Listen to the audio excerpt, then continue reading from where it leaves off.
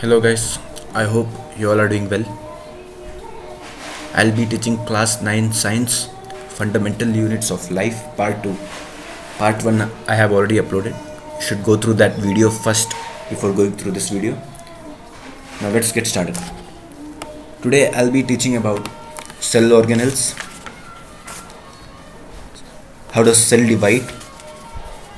And some of the major differences between prokaryotes and eukaryotes. So yeah, cell organelles.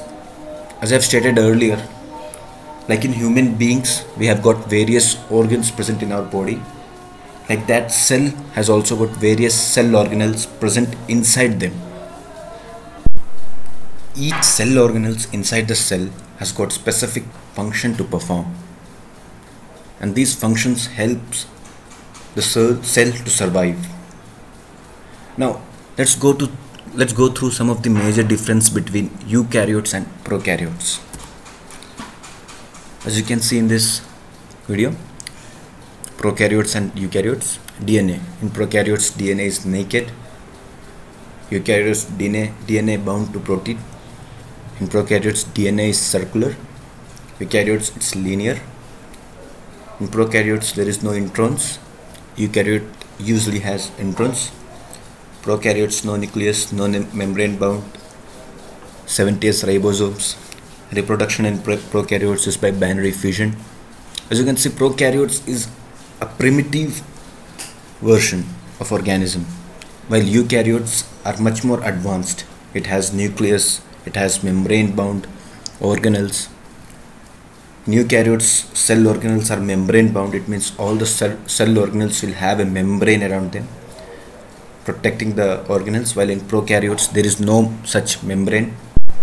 Uh, prokaryotes are smaller in size compared to eukaryotes. You can pause this video if you want to go through it once again. Now endoplasmic reticulum. Endoplasmic reticulum is a large network of membrane bound tubes and sheets. So it's like a network.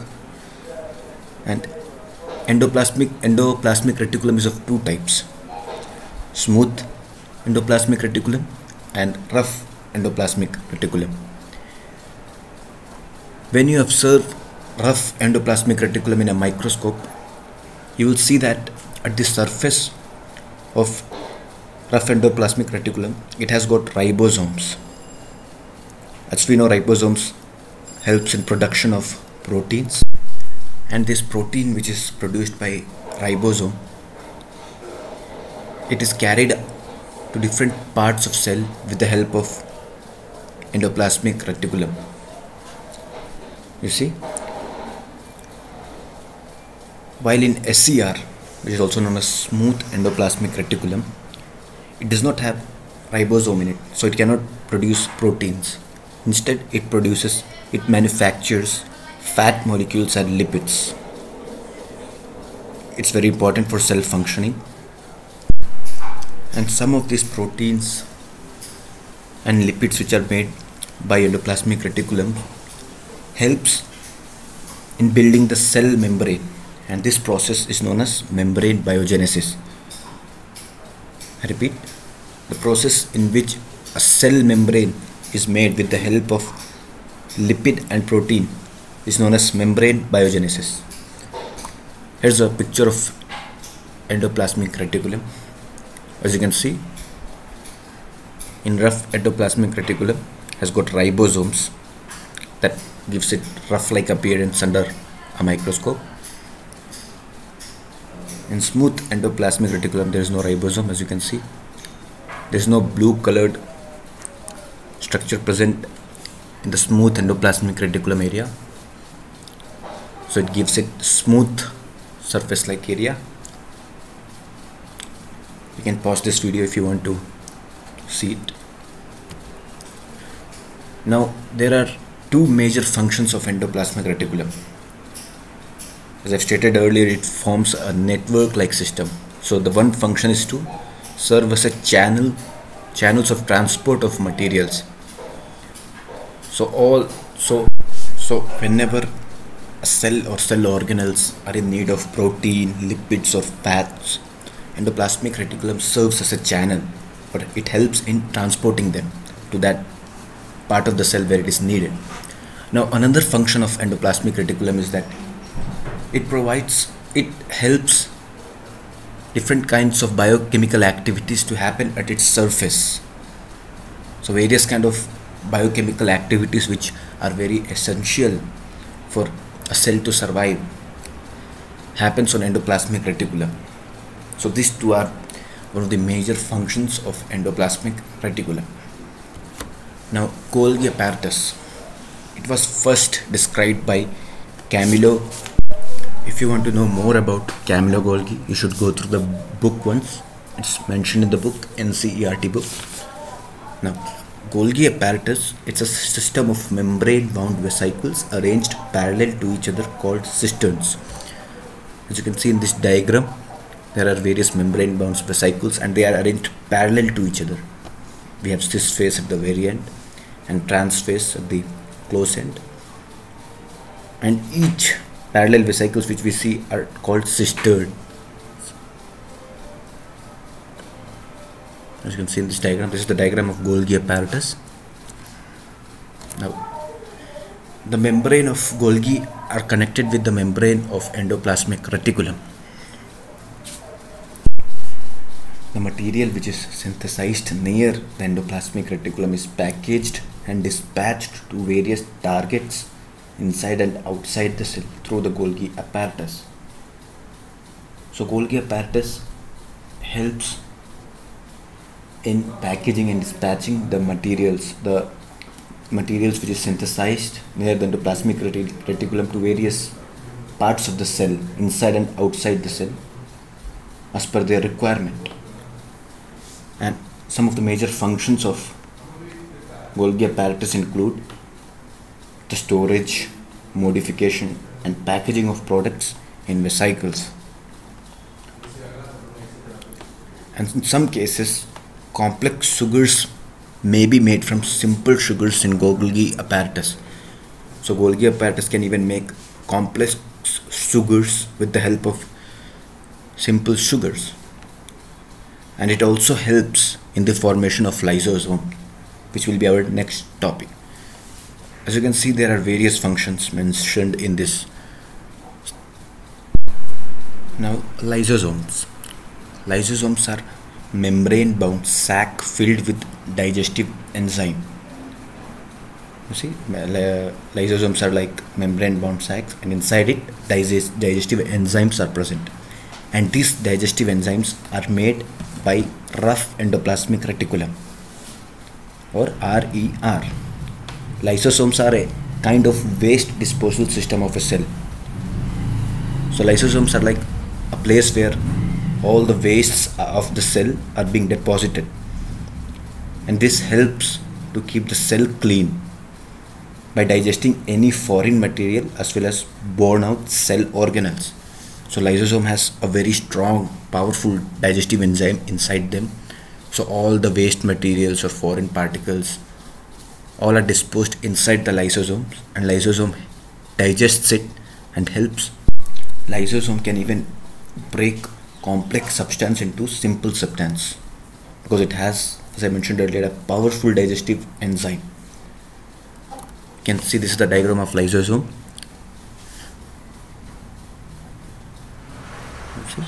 It has hydrolytic enzymes inside them. You can pause this if you want to see it. Now when a cell is uh, damaged lysosome may burst and enzyme digest their own cell. Therefore lysosomes are also known as suicide bags. Suppose there is a damaged cell or cell that is not functional. So lysosome is present inside the cell. And inside lysosome a very powerful digestive enzymes are present. So if a cell is non-functional the lysosome will burst releasing all the powerful digestive enzyme and it will digest its own cell and therefore lysosome are also known as now mitochondria. Mitochondria is known as the powerhouse of the cell. It has two membrane coverings. Mitochondria has two membranes outer membrane and inner membrane. Outer membrane is porous. It has various pores present in them while the inner membrane is deeply folded. You can see in this diagram the blue colored area is called matrix and you see at the outline of the matrix a yellow colored line that is inner membrane. As you can see it's folded. In the diagram as you can see mitochondria has its own ribosome and DNA so it's capable of capable of producing its own protein. As I mentioned ribosome helps in protein manufacture can pause this if you want to see this video. Now why is mitochondria called as the powerhouse of the cell? It is called so because it is the place where energy is created. See its energy required for various chemical activities needed for life is released by mitochondria in the form of ATP or adenosine triphosphate. So and ATP helps in our body uses energy stored in ATP for making new chemical compounds and for mechanical work. So all the physical activities which we do like running walking jumping sitting all this requires energy. And this energy is stored in ATP as you can see without ATP we cannot do the mechanical work this is the reason why mitochondria is known as the powerhouse of the cell because it helps in production of ATP this is the diagram. Now plastids. Plastids are present only in plants. It's not pre present in plastids are of two types chromoplasts and leucoplasts chromoplasts are colored plastids. Chromoplasts contain contains the pigment chlorophyll or also known as chloroplast as we all know chlorophyll helps in providing green color to the leaves and thus helps in photosynthesis. So chloroplasts are very important for photosynthesis in plants. Besides green color, chloroplast also has various different colors like yellow or orange. You can see carrots are orange colored. It's because of chloroplasts. Now leucoplasts are primarily organelles in which materials such as starch, oils and protein now the structure of chloroplast. The internal organization of chloroplast consists of numerous membrane layers embedded in a material called stroma. As you can see this is the diagram. Coin-like structures are stacked one over the other. It is present in stroma. You can see number 4 stroma. It is present inside stroma. This is the diagram of chloroplast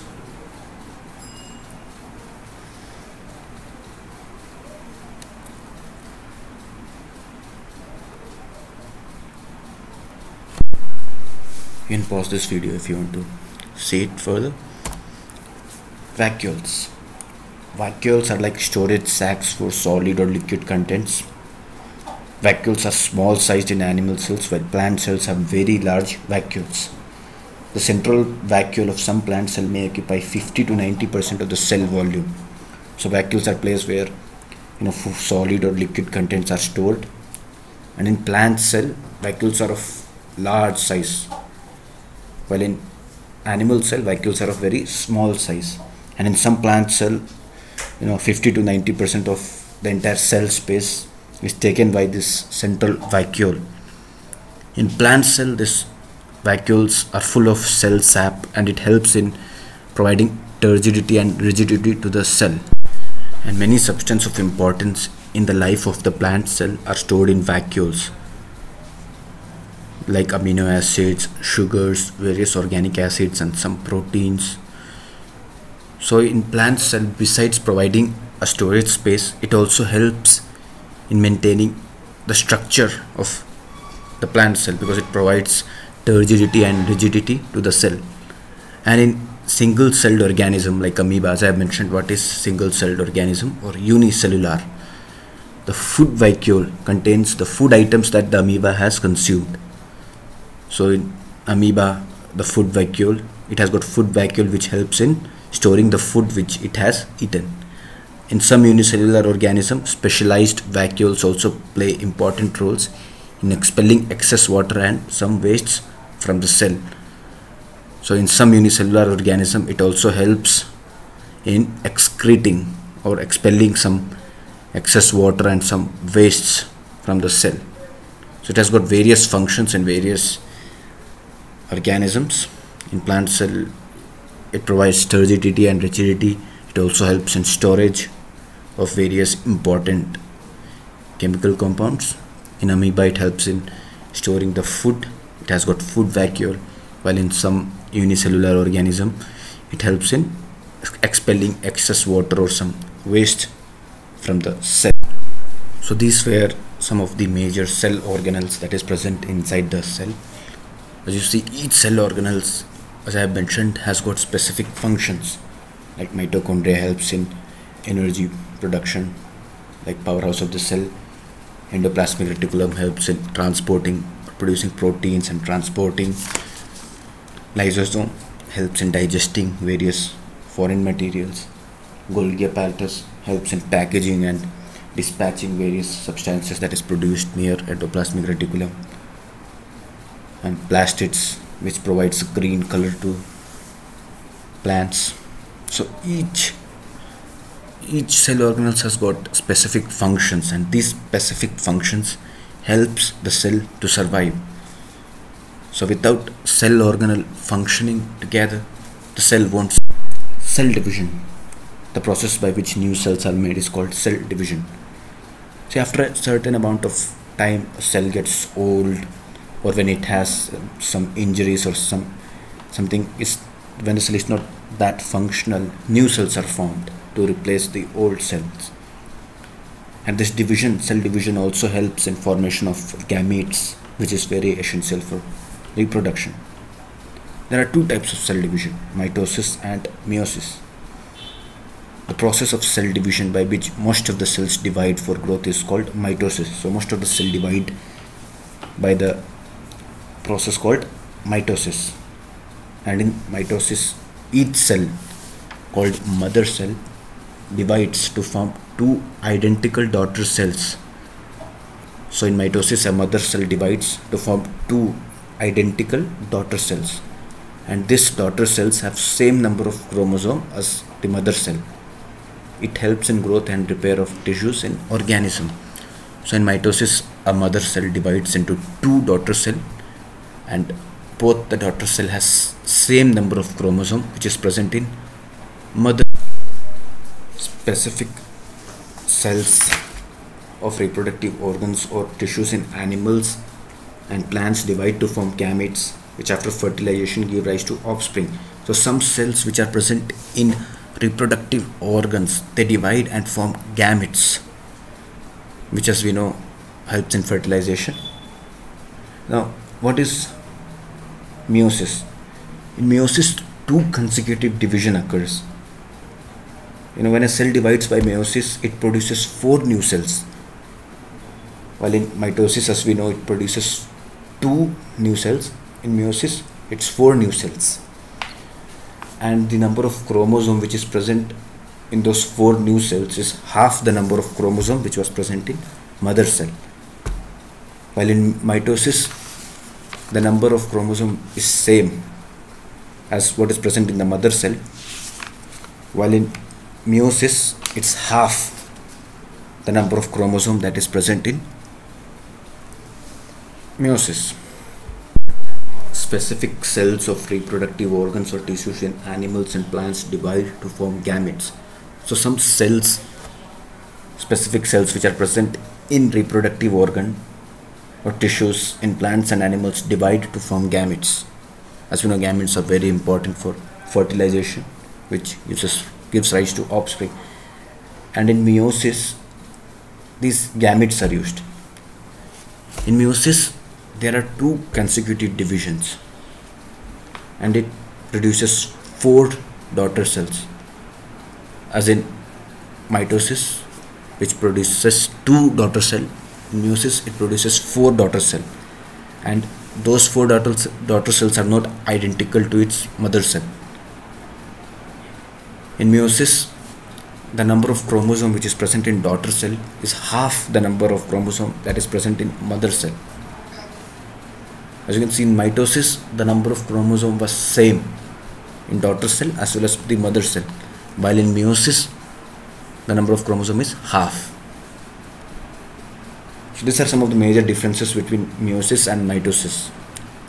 Human beings as we know reproduces by the process meiosis we have gametes. So that was all about chapter 5 we came to know a lot about cell. We came to know why cell is called as the basic unit of life. What are the various important cell organelles? And what are those what are the functions of those cell organelles? How cell works how cell works and how it gets energy how it transports its product to various part of the cell. So if you have any questions you can ask your respective teachers once the class reopens